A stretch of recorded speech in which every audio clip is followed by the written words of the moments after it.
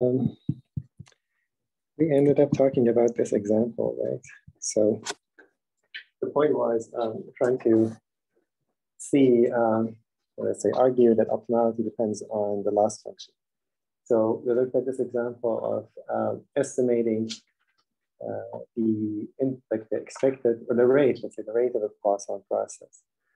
And so we can model this as um, uh, an example where you observe these interarrival times, which are IID from exponential distribution. This is a property of the Poisson process.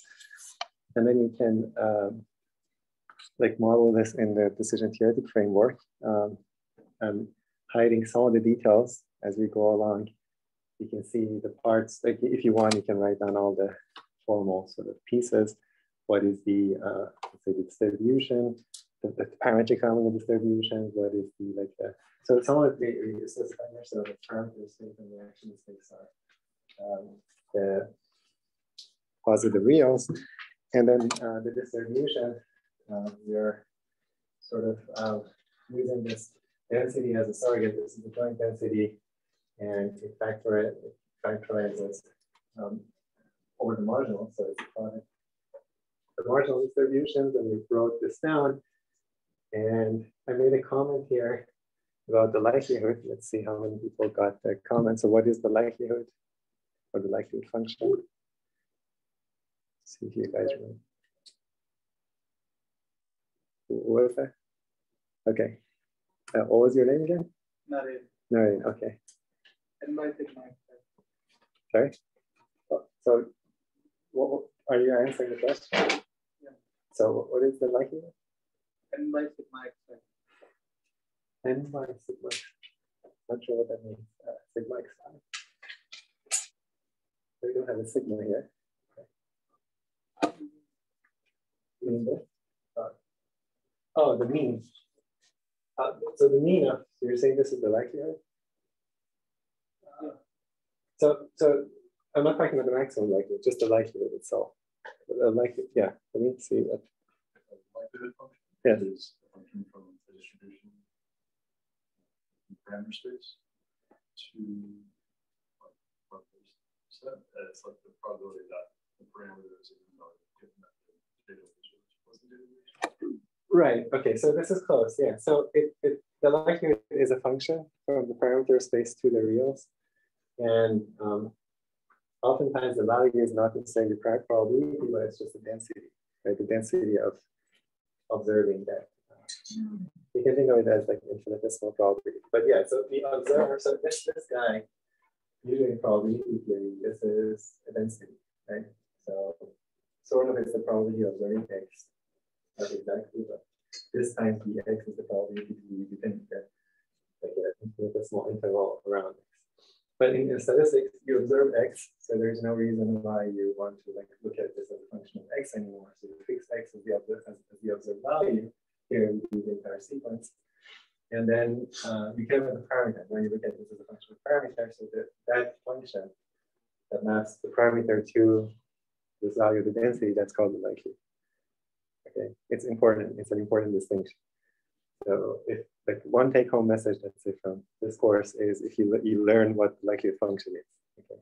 And a lot of the things that we carry like in this course of boils down to the properties of the likelihood function. Okay, so is that clear? Yeah. Um, so, so like you have a bunch of different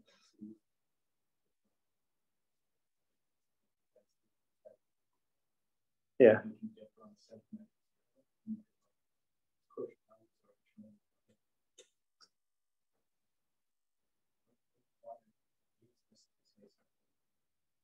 That's a good question. So to rephrase the question, so the densities, if you, if you have seen measure theory, uh, the densities are not um, uniquely specified. So it's something that you take the integral off over a set and gives you the probability. And because of the, the way that the big integrals are defined, if I manipulate the density at a set of unexpected points, um, it's not going to affect uh, my um, uh, it's not going to affect my um, probably distribution, right? So, um, so, for example, So you all seen, this is the Gaussian distribution, let's say in, in, in the real, so e to the negative x squared over two. Uh, so call it p of x.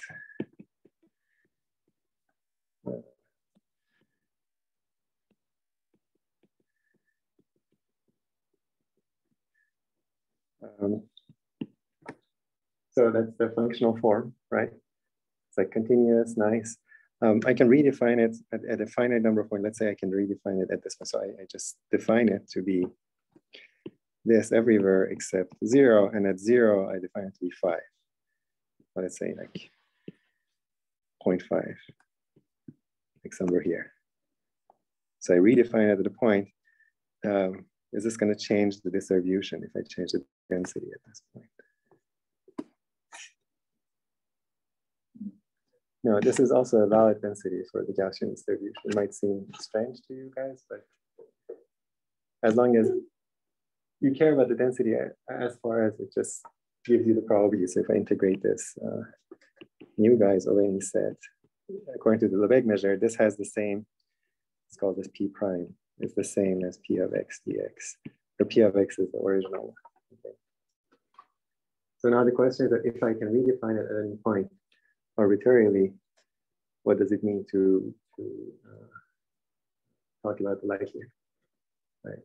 Um, that's the question. Okay. So let's see if anyone can answer. Yeah. You can use the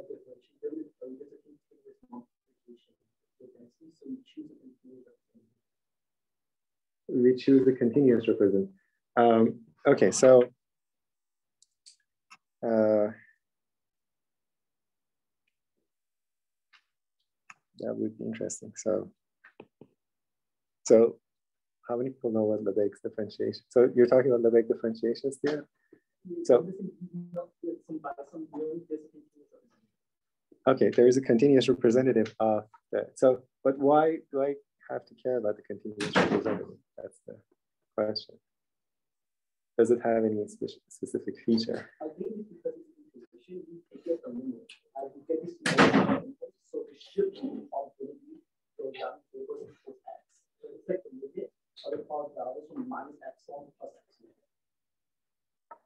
Okay. Um,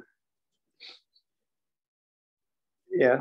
I was going to say that you're only allowed to do that at countably many, countably infinitely many points, right? And so like everywhere else, the distribution has to be the same.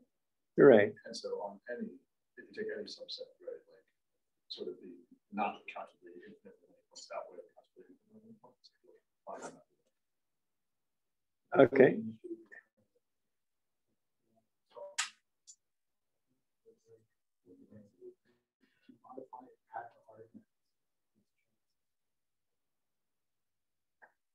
Right, so you're defending your own point, right?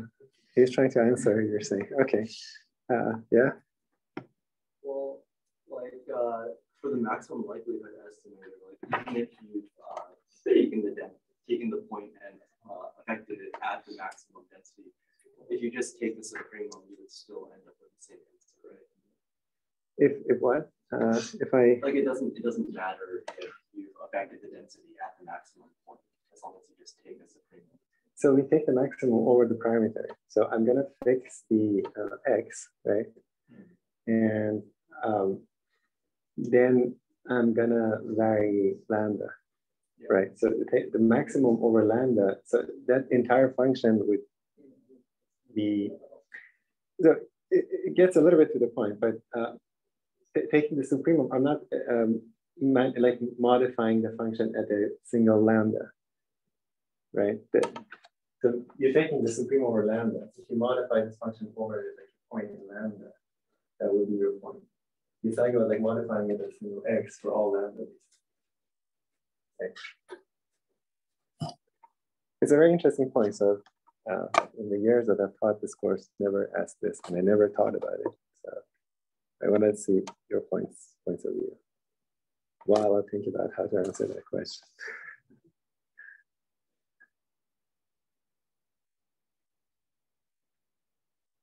Anyone else? So it's an interesting point. Supremum works like so. The supremum of this function doesn't change right? If I if I like modify it at a single point, but um, I'm not taking the supremum over this. I'm just modifying it at x, and then later I take the like I'm not plotting it as a function lambda here, for example, as a parameter. Okay. Yeah. So I think the way we do this, like this. Yeah. So what we we we should do stick limits like around a small interval x, and then the limit is interval is smaller and smaller. And then we the the delta be shorter representative. That sounds good, but still, like as long as it's a limiting process, if you just manipulate with a point, it's, it's going to capture. So everything here, so if I, if I like take the limit, it doesn't matter if I. So the limit differentiation theorem here also works. So still, this is a valid density. I think it, this integral gives you the probability? Correctly gives you the probability all the way, except at that single, like you can't collapse it to the single point. And then we take limits or like the average, like around the from the center, for example. Yeah. Then I think we should obtain one, like the one. One. that would give you so you're saying okay so you're saying the Lebesgue differentiation theorem gives you um, the correct value so you're saying so so Lebesgue differentiation theorem gives you a single version of the density is that so?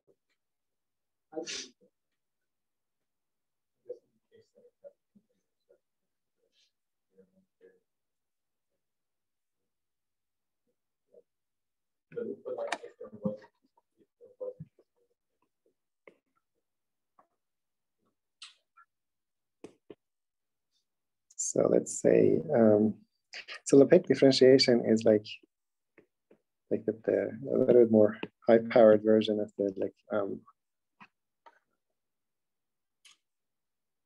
like the fundamental theorem calculus. Okay, so um,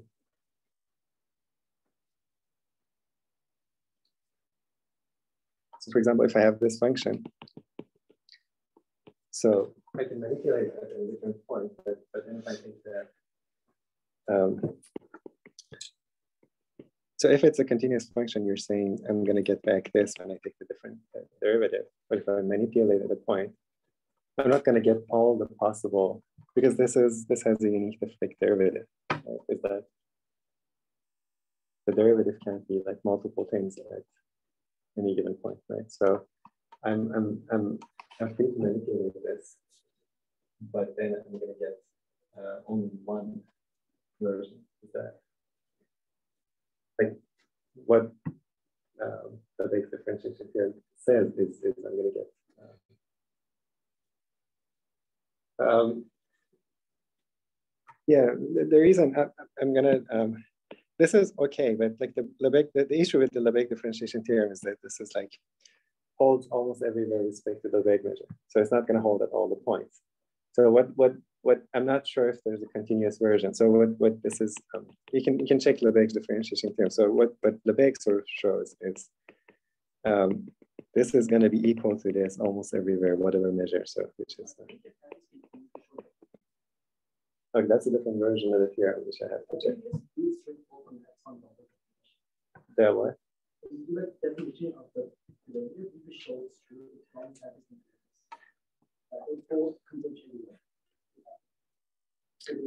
If f is continuous. So that that part is like yeah. So if if two functions are equal almost everywhere, right, and then one of them is continuous, then they have to be equal, right? Is that so? You're saying if It's small f then better. okay, okay, I'll, I'll check this. Um, the, the, the version that I have in mind is like again up to, it. but but that's that's that's a good point. If That's what our function, so we are continuing to up to the derivative. when you have continual what? Oh, or small f. So that's it's small f. Right. So if it's continuous, you're saying it's continuous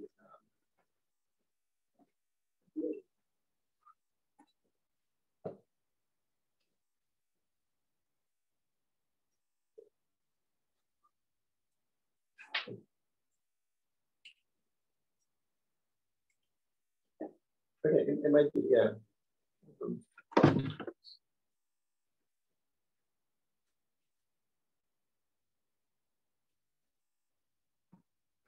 Okay, let, let, me get back to whether this is going to be the solution or not. But even if the, like, the density is not continuous, so this works for densities that are like, let's say I have a discontinuity, is that your argument is going to like the density without a discontinuity.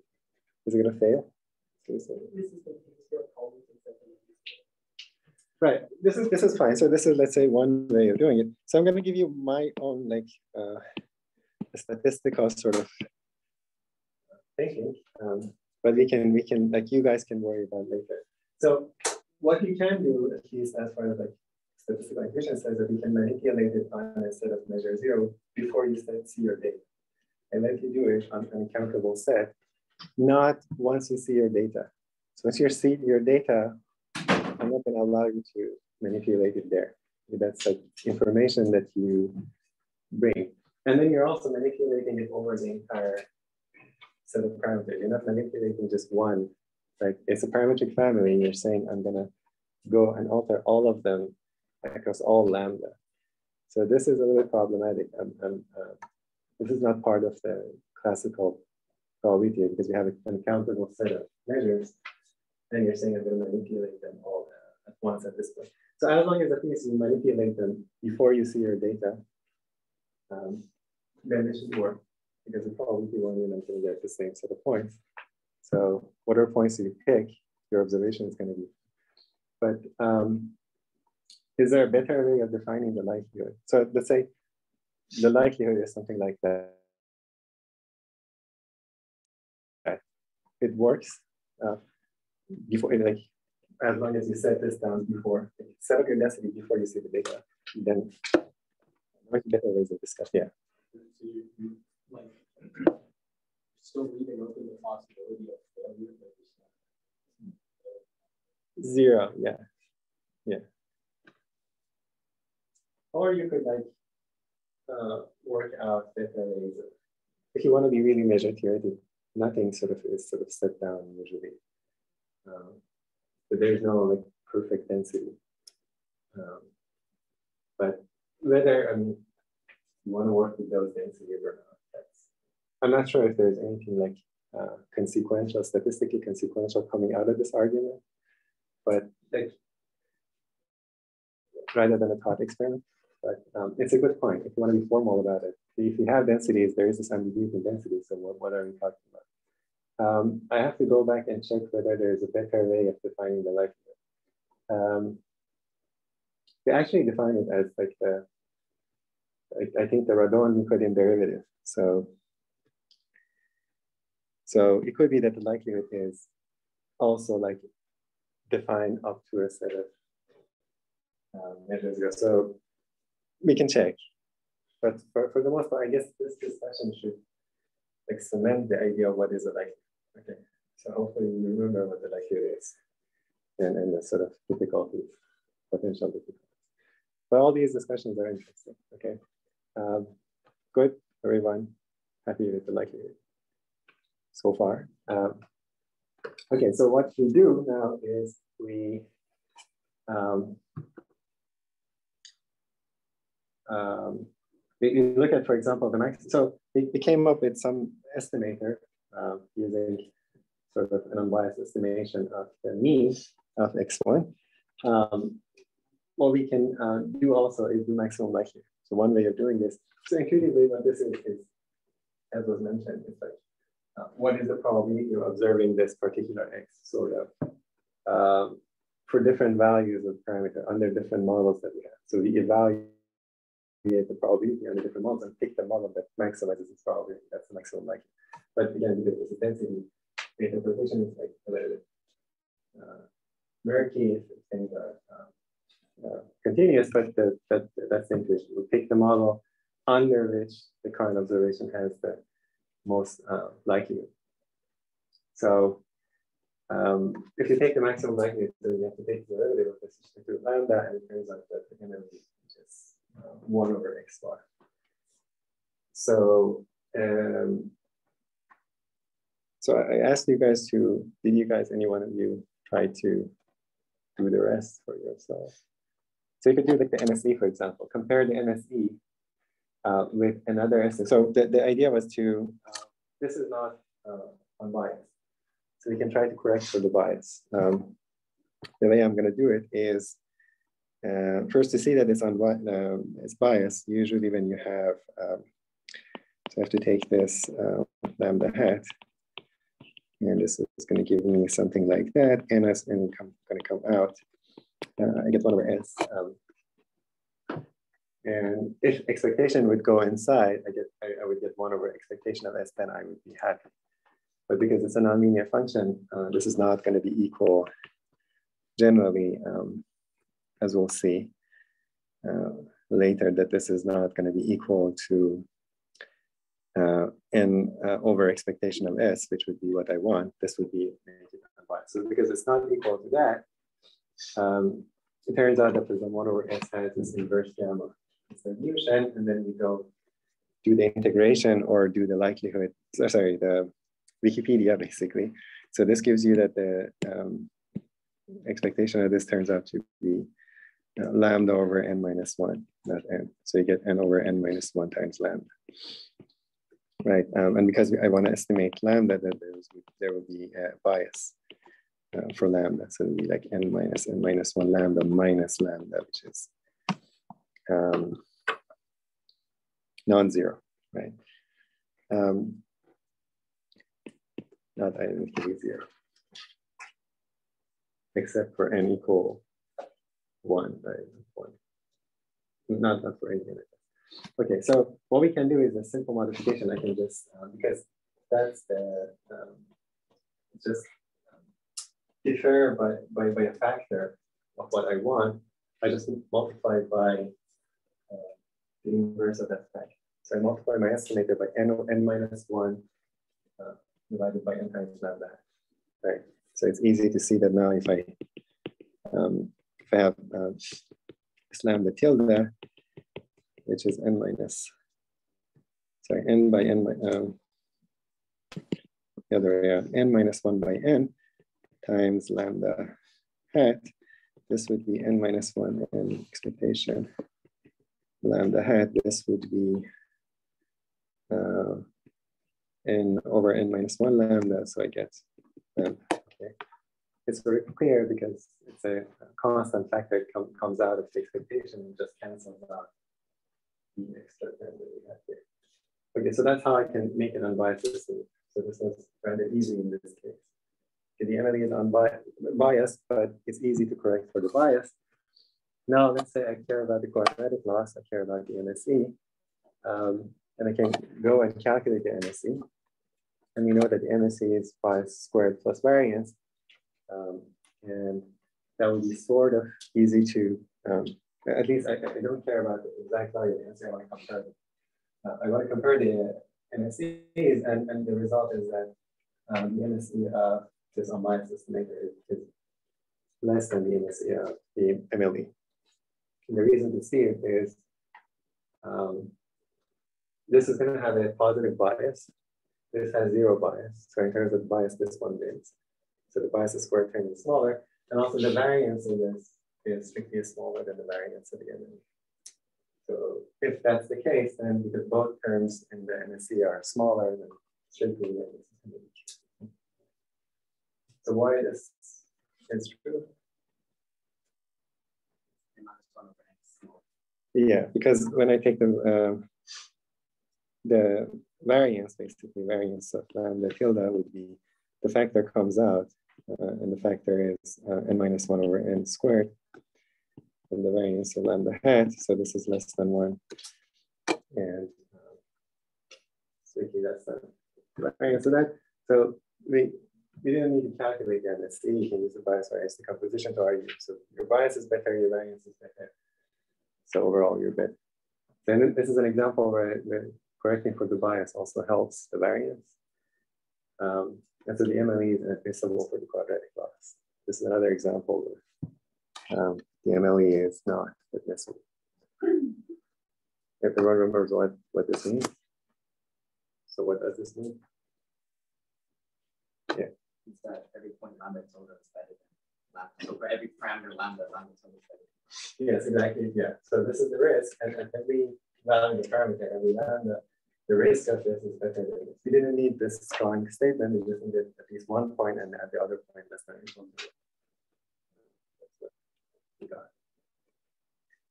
Um, as you can see, this is an example where as n grows to infinity, there's not much difference. But at smaller samples, there's like a significant difference. And it's three, let's say, uh, factor of two thirds, which is perhaps considerable. Uh, okay, uh, so far so good. Any questions? So what I wanted to argue here is that um, this is all fine. Um, but um, let's say I, I, I, didn't care much about the quadratic loss. Uh, one reason we, we, might not care about quadratic loss because the parameter is non-zero, right? The quadratic loss would be sort of non-symmetric because it's going to also penalize things that are true negative, but um, it's like a little bit uh, it's okay. It's a okay loss, but but let's say I, I could I construct a loss specifically for uh, non-negative parameters, and one particular loss would be this kind of weird looking um, loss function, which I'm plotting here, is one of the arguments. It's not symmetric. So um, fixing uh, maybe A. Um, but this is sometimes like referred to as Itachi Sato distance, uh, turns out to be an example of a Bregman, uh, Bregman divergence. Um, these are kind of loss functions that we can create out of any convex function. We're going to come back to convex functions later. Um, but if you have a convex function, um, if you look at phi, uh, if I look at, this is basically the remainder of the first order Taylor expansion. So if I expand phi of x around uh, point y, this is the first term. This is the like the constant term minus the derivative times x minus y plus second derivative and so on. This is minus, this part is minus the first order Taylor expansion. So the difference between the function and its Taylor expansion, uh, whatever remains is, is, called Bregman derivative. If you do it for negative log x, it turns out to be convex, you get this loss. You can create interesting loss functions this way. Uh, it's not going to be symmetric, but who said things should be symmetric? Uh, and it turns out to be an interesting loss here. So here it's gonna uh, penalize a lot things that are near zero, for example, and under penalize things that are big. So this, this is gonna uh, penalize underestimation. So let's say if you care about more about underestimation, you don't care too much if you overshoot through the target. But if you underestimate, you want to penalize, this is this might be good. Um, and uh, as you can see, this is shrinking for the smaller values, uh, and it might not be surprising that under this loss, that uh, this is going to be worse, the one that shrinks a little bit um, by a slope. It turns out under this loss, it's going to have a strictly bigger loss than the other. Yes. we always actually means that no matter what the loss is? Uh, depends on what you mean by calculate. I'm always interested in MSE if it's not quadratic loss. Uh, so the MSE is the risk associated with quadratic loss. That's the MSE. Oh. Is the expectation of the loss when the loss is quadratic. Yeah. That's what I'm referring to as the MSE. Otherwise, we just care about the risk. Yeah, so right. yeah, yeah. You can say risk in general, right? And this is R risk under quadratic loss, you can just say R of lambda, lambda tilde maybe. That would have been more, let's say R1 under this loss, which is a quadratic loss. This would be like that under the other loss. So the order flips. So it all depends on which. So under this, MLE makes the other one inadmissible. Okay. So uh, whatever you want to take from this, it's yours uh, opinion, whether like all, all like is uh, maybe there's no truth, like everything is relative. It's I mean, like philosophical question and leave it there. But once you pin down the loss, then um, you'll see, even if you pin down the loss there, the answer is still not quite uh, sure, but you can you can do more certainty. Um, but just remind you that there is this uh, issue of optimality if you are not sure what your loss should be.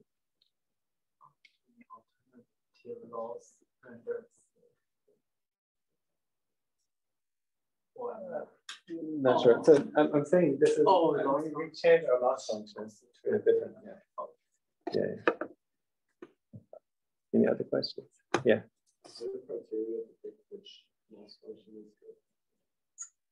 Uh, yeah, then you need another decision theory on top of decision theory to decide which loss. I don't know to be honest.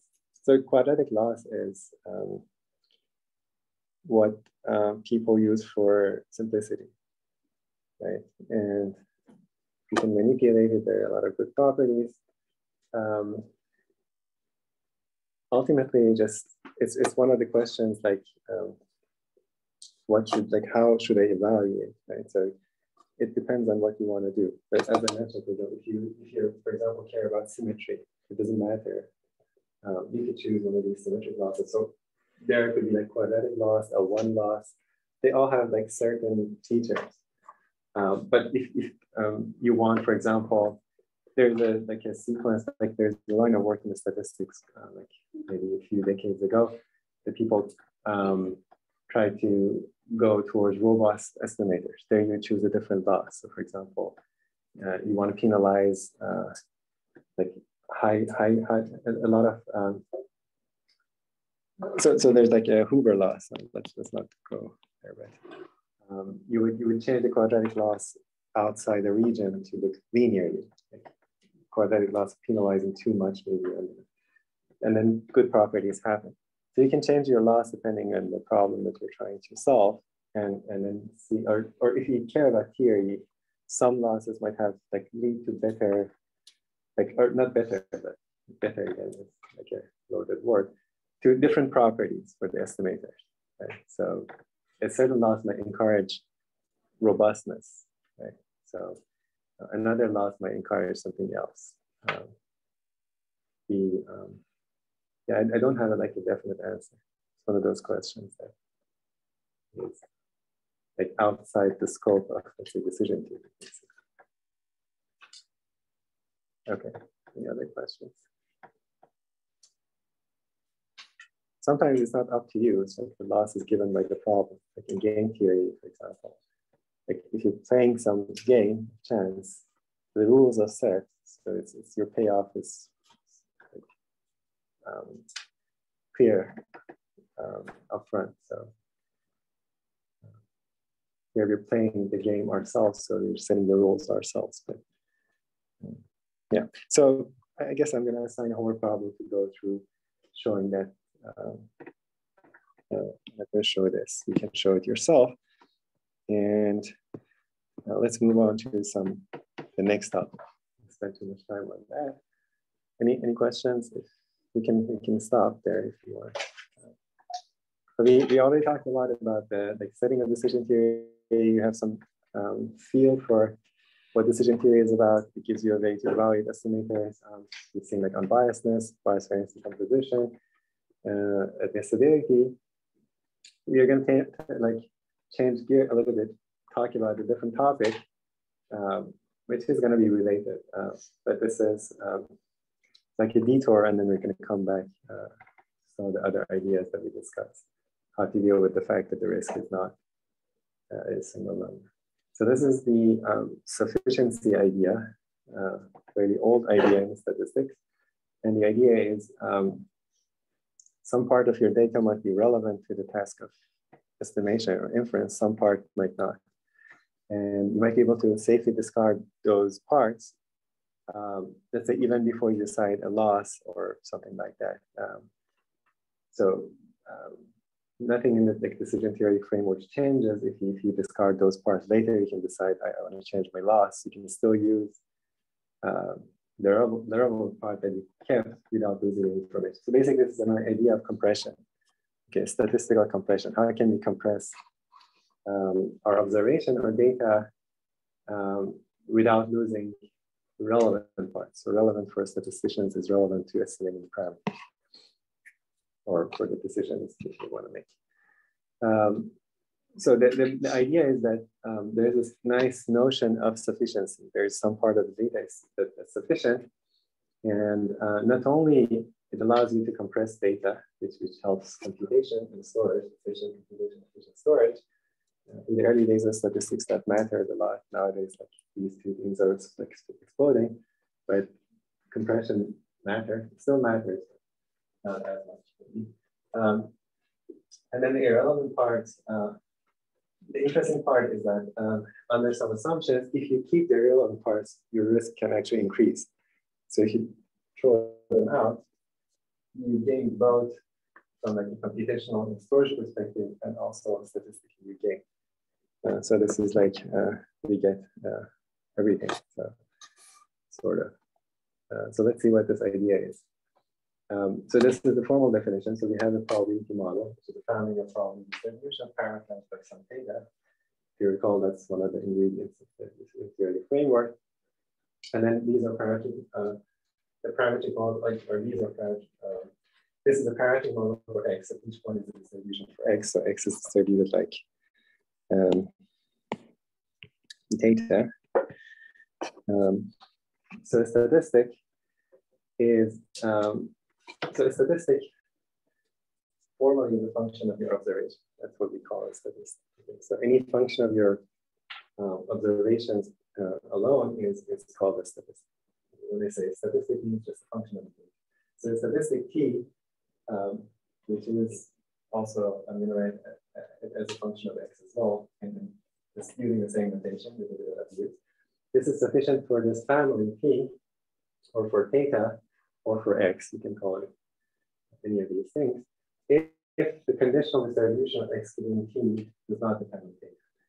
Okay, that's the definition. So if I go and condition x uh, on this sufficient statistic or this statistic, uh, if the distribution does not depend on theta, the unknown parameter, then we say that t is sufficient for the family or for the parameter or for the x.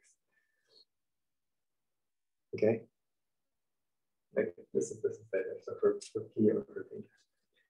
Um, formally, what this means is something like that. So if I take uh, any event, um, the probability under theta that x belongs to A given that t is equal to t, this is something which does not depend on theta uh, for any t and any A.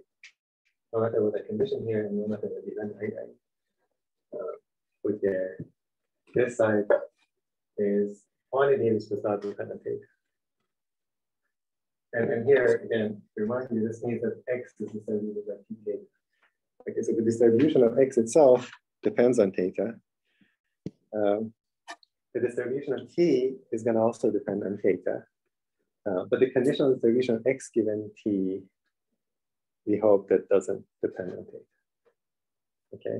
Um, so this part is like a, basically a technical uh, statement. We want this to be a Markov kernel. Um, Markov kernel, what is Markov kernel is just something like this. Um, this is just technical to, to say that like, there is some sort of measure theoretic sort of issues of uh, trying to make this a valid probability distribution. So you want this to be a, the, the way you define the conditional distribution, you want, you can define it, but it's going to be defined up to sets of measure zero, and you want to align all the sets of measure zero so that uh, for any given t, this whole thing is a probability measure. So fixed t, this is a probability measure in this argument. Fixed a, this is going to be like a measure of a function. That's an of kernel. Sometimes you write it like q uh, ta. Uh, it, it's, it's a function in this argument, it's a measure in the other one. Uh, so you can think of them as transition probabilities in Markov chains if I want to say T, what is the chance that I land in the next step in event A? Why it's called one. You know, it doesn't matter that much for us. It's just the, the main part that this part is not dependent on theta. Okay, we'll see an example. That's the main point. So if I give you a statistic, once you conditional your observation on, on this statistic, the conditional distribution no longer depends on uh, theta, then that statistic is sufficient. Um, what it means is that um, I can, so T will have a distribution. I don't know what you should call it. Let's say maybe, um, I don't know, P tilde, um, yeah, P tilde uh, of theta. Now, X has an original distribution P theta. Now, and then X given T is distributed like this Q. Um, let's call it T. Uh, this doesn't depend on theta. Because it doesn't depend on theta ahead of the time you know, because you set up the model, you don't know the parameter, but you know the entire model. And then because this part does not depend on theta, um, you, can, you can compute this. Okay, so you know this ahead of the time. So what happens is that I'm gonna discard everything except this. I'm gonna keep T. I'm gonna discard X. X loses some information because we'll see more uh, whenever you form a function, you lose information. That's like a compression mechanism. So T loses some information relative to X. We're going to keep T. Uh, what you can do later is if you want to re recover X or identically or statistically identical copy, you can always generate X, not the original X, but something that has the same distribution as your original X. That's the idea of sufficiency. So how can I, let's say I know this Q and I have um, my original T, right? So I have the data, I form the sufficient statistic, I keep this, I throw away my data. Someone later asked me to recreate the observations. They want the observation, the full observation. How can I create an observation that's statistically equivalent? Um, is the question clear? Can we use, we use T to recover an observation statistically equivalent to X. So if I know the parameter, I can I can create one because I know the distribution. and I'm just going to sample from that distribution. But I don't know T. Sorry, I don't know theta. I know T. Can I recreate X without knowing theta?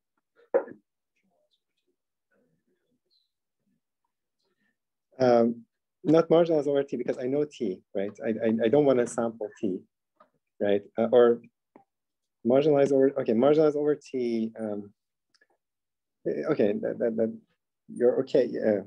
It, it's, it's hard because marginalizing over T. Um, okay, marginalizing over T, then the what? Then, sorry, it's okay. So yeah, so there's like a,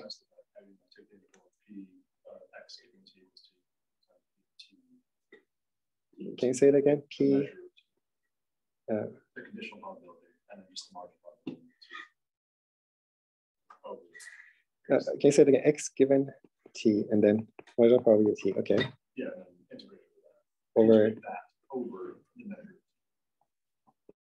Something like that. What would give us? What would this give us? And you integrate that over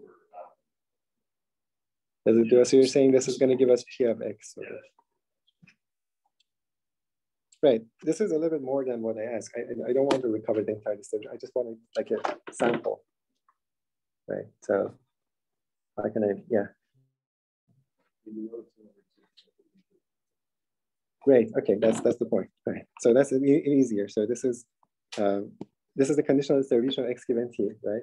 If I sample from the, I know t, if I sample from this distribution using the value of t that I know, then I have generated like a pair like x prime and t. This has the same distribution as original x and t. I don't care about the t part, just the x. x, x these two would be identical. See the point? It's just um, the, the, the, fact that I can generate uh, from this distribution without knowing theta is that where the sufficiency sort of comes in. Right? Sufficiency allows you to simulate your original data without knowing the underlying distribution, just knowing the, the t. So the marginalization is similar idea, but we'll see like um, it's going to be tricky to write down the joint distribution of x and t because they're functionally dependent. So does that make sense? So that's what, where, where I'm trying to say here. So uh, we can simulate X by an external source of randomness. Once we know the sufficient statistics, so we don't we no longer need it. As far as the statistics is concerned, we can always recreate. We don't need to recreate, but we can always recreate a data which is um, identical. Identical in the sense that it has the same distribution. So Statistics cares about distribution. We don't care about the actual value. Does, does that make sense? The reason why we can do this is exactly because this, this conditional distribution is, is, is um, not functionally dependent on theta. Everyone understands sort of sufficiency. We'll see examples. Right? How many people have seen sufficiency before? Okay, some people have seen it. So, so not too bad, I guess. Uh, uh, so here's a simple example. We have the coin tossing example, xi is a Bernoulli from theta, um, IID. Um, so I'm going to use this notation, uh, capital X um, for random quantities and little x for uh, realization, deterministic sort of realization. So uh, we want to show that you might have guessed that like the sum um, of um, xi's is sufficient for estimating theta. I don't need the entire sequence. I just need the, the number of, let's say, one. So the way to do it um, is to write down, uh, like from definition, I have to calculate the condition conditional distribution of x given t. So I start by writing the PMF probability mass function. So the probability under theta that x is equal to this little x is going to be our PMF. This is our application. Um, this is the product of these guys do, remember, by independence. Uh, and this, if you expand, you get theta to the summation. So this would be equal to uh, theta some xi and then one minus theta um, n minus some xi and then some xi I'm calling p of x. You can see that this is um, a function of my original observation, which is that sequence, so it's a value statistic. So that's my PMF. Okay, I've written my PMF in this sort of uh, simple form. So far, so good.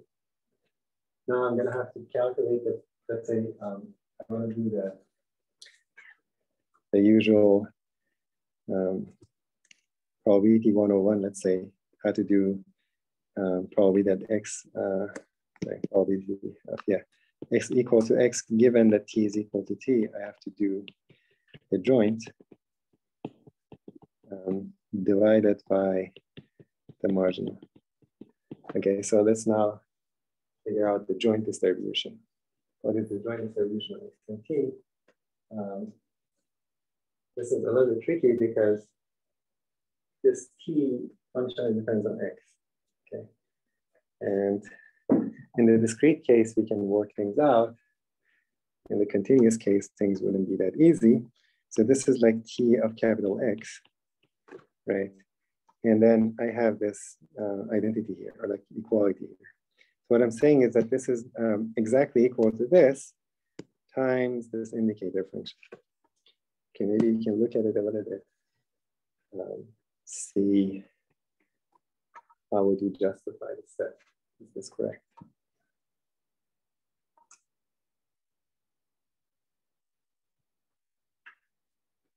Yeah.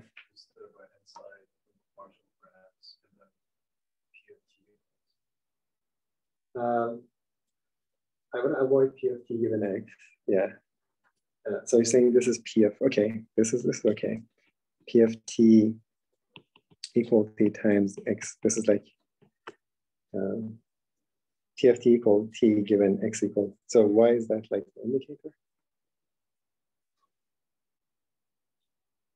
So this is a zero one you're saying, right? What I'm saying is that this is either one or zero.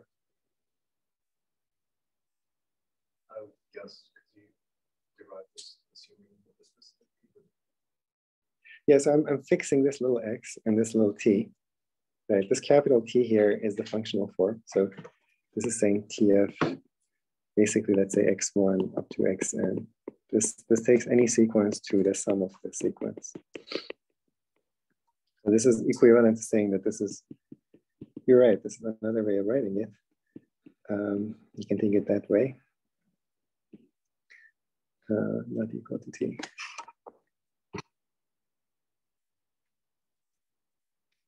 This is sort of that. You're right. Yeah. It's also easy to see more directly. The thing is, um, anyone else wants to? Maybe, okay, go first. Yeah, so like, the question is why we are using an indicator function here, right? Yeah, why is this thing equal with this side? Because like here the function of x and the we are basically just want to find a subset of the of all the x. That's why we have an indicator function here because as long as t like the big t equals small t, that that is still some x. So we are doing the subset here. You're doing subsetting, yes. Uh, maybe we need some more elaboration. Why like this? So that, so that is basically like the probability of b equals t given x over x. Like Right, but why this is equal to this?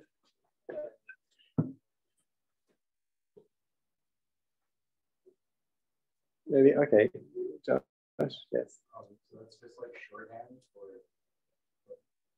like a piecewise definition of stuff where if t of x equals little t, then we're saying equals that probability of depending on x, t of x doesn't. So, Right. Like you just justify that by like equating the events. Observe that if t equals something other than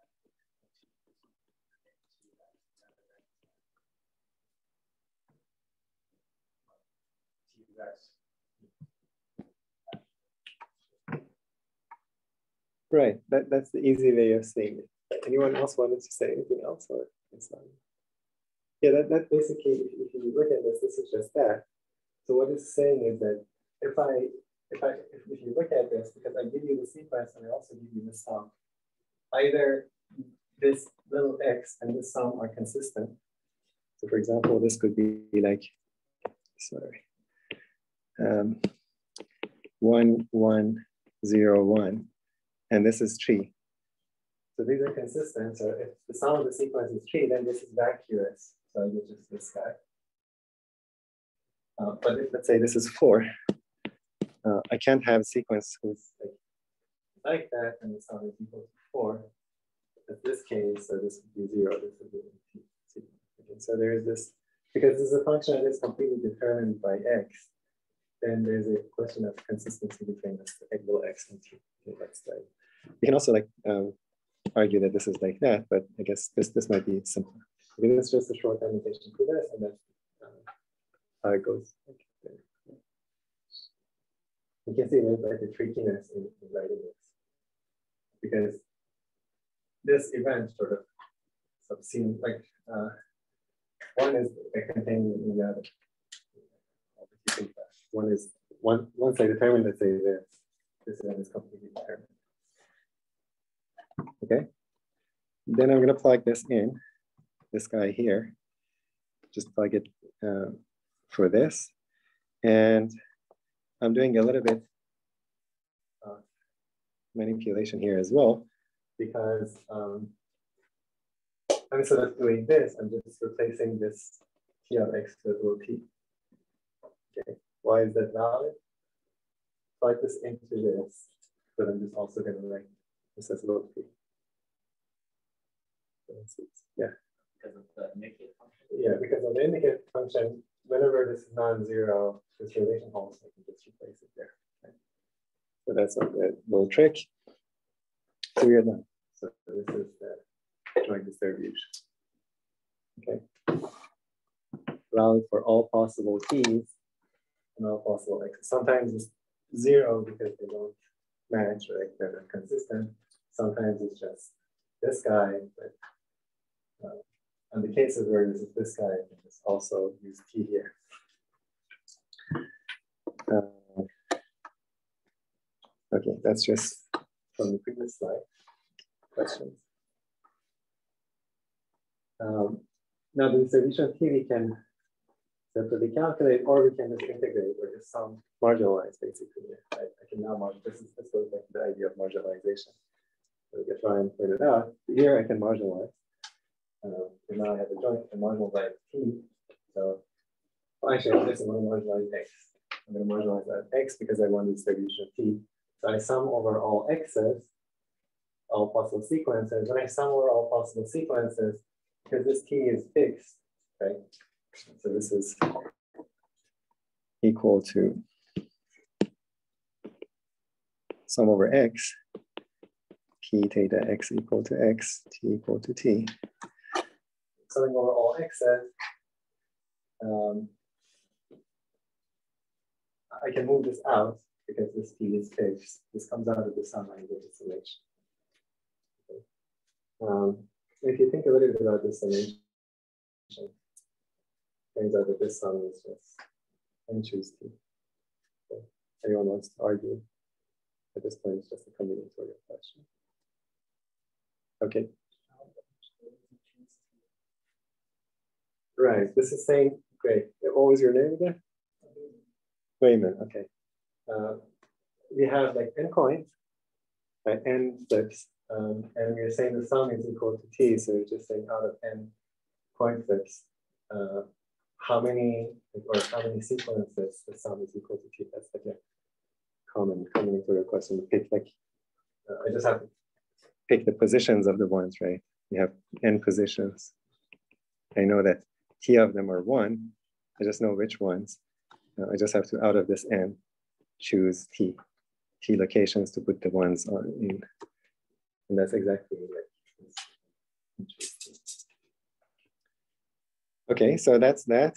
Now I divide this guy by this guy, I get my conditional distribution. So then I do the division. So this, this thing divided by this, um, I get this expression. And the, the theta part you can see cancels out. Um, uh, the part that remains is this. This remains and this indicator. Okay, now you see this, this does not depend on theta. Right, the conditional solution of x and t does not depend on theta, so we have proven our claim. So P is sufficient for this model. Okay.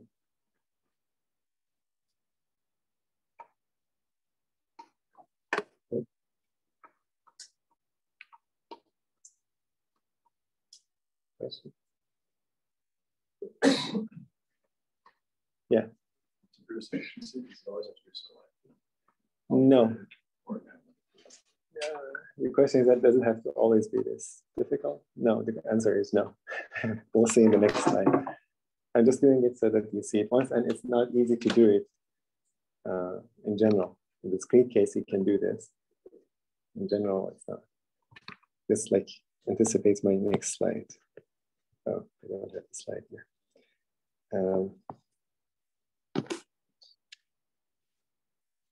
I can look at this slide. See if anyone has a question. And you can also like think about what this distribution is and what that distribution is. So one of them should be easy.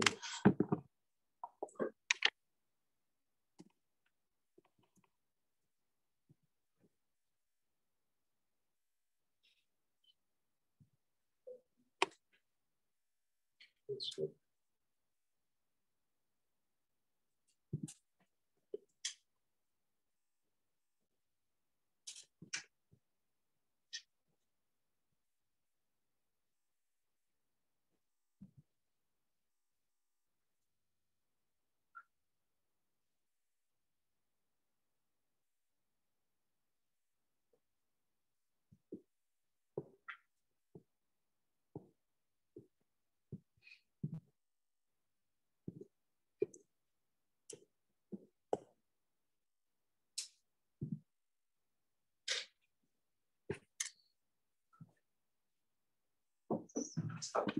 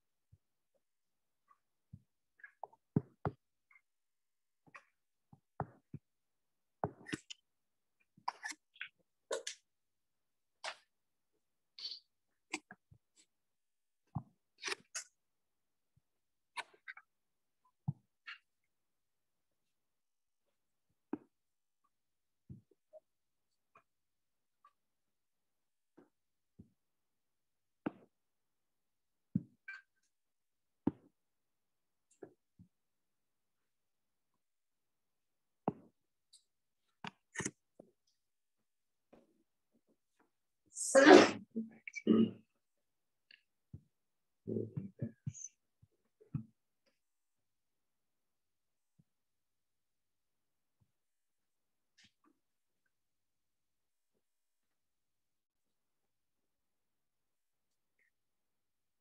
So one, yeah. Uh, so basically we have a uniform distribution over the space of all, uh, I guess, point clouds or you have two heads. Yes, exactly. So this is a uniform distribution over all possible sequences where you observe t heads. That's exactly it. What is that one?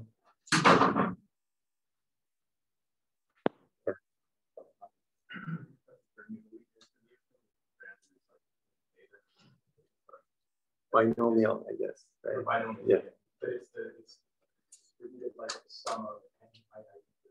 Yeah. So basically, what we have proven here, because t is um, summation xi from one to i, and xi is our Bernoulli theta.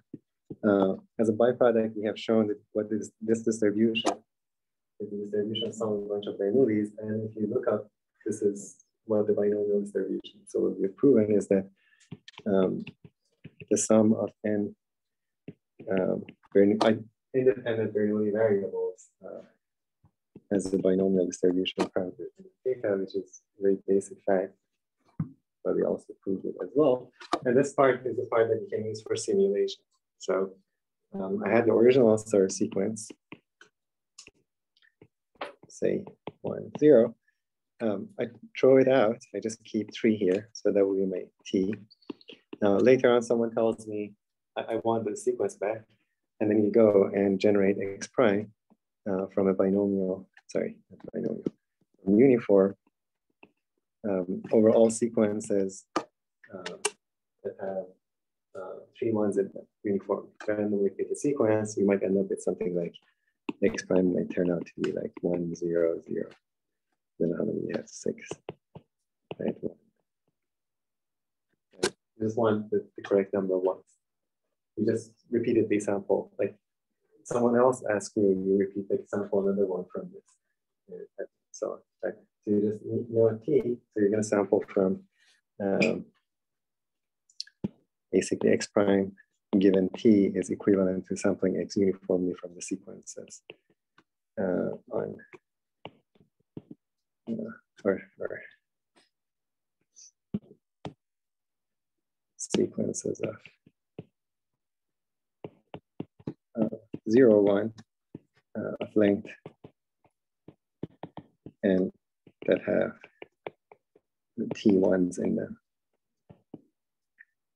So uniform over that space. Basically randomly permutations. Right? Pick one, you can pick this one. You know that there has to be three, and, and let's say six, uh, so I pick this randomly permute it and I give it to whoever asks for simulation. Okay. Yes. Right. So just to clarify, it's a uniform distribution over a finite set, and then each thing in the set has the same chance of being drawn. Yes, exactly. So that's saying I'm, I'm looking at all the sequences whose sum is equal to t. They're exactly this many, and each one gets the same probability, which is So it's uniform over this finite discrete set. Okay.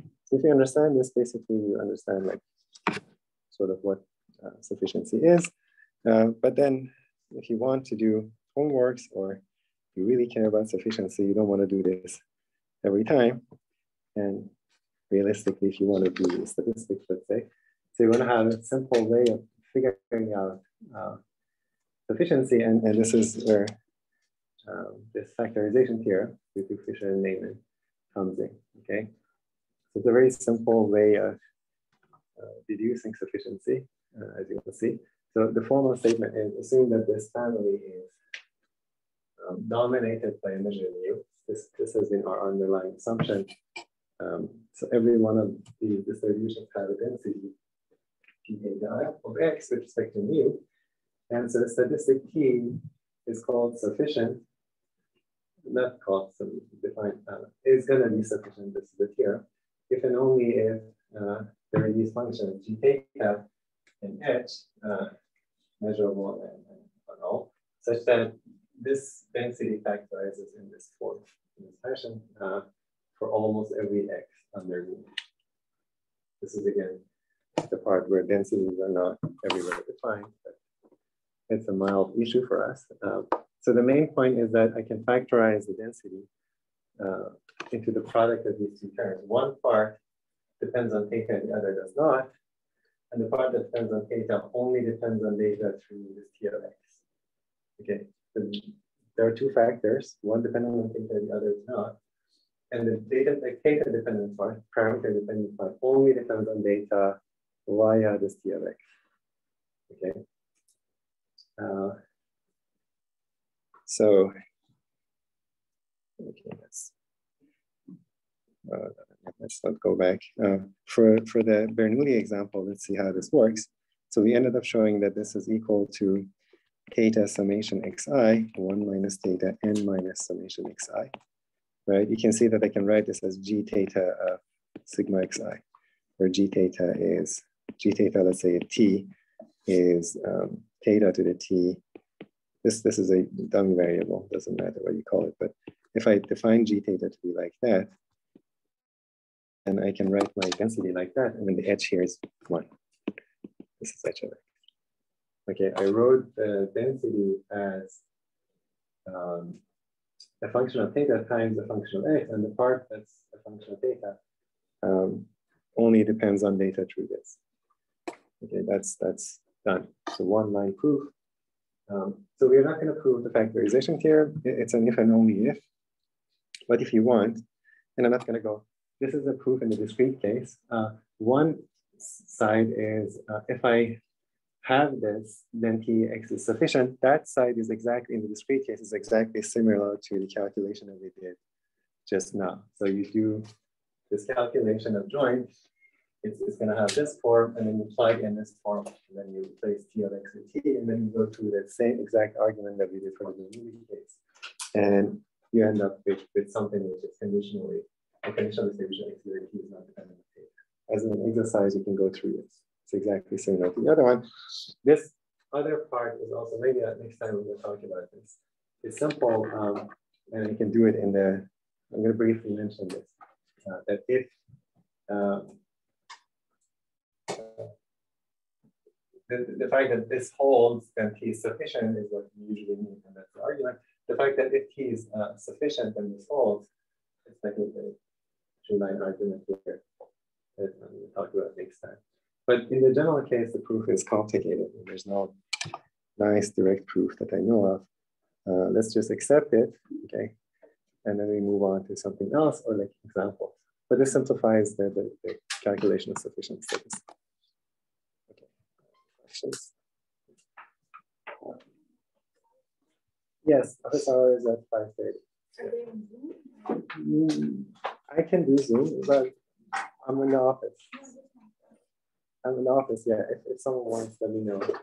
But the time is in person. I think that's serious.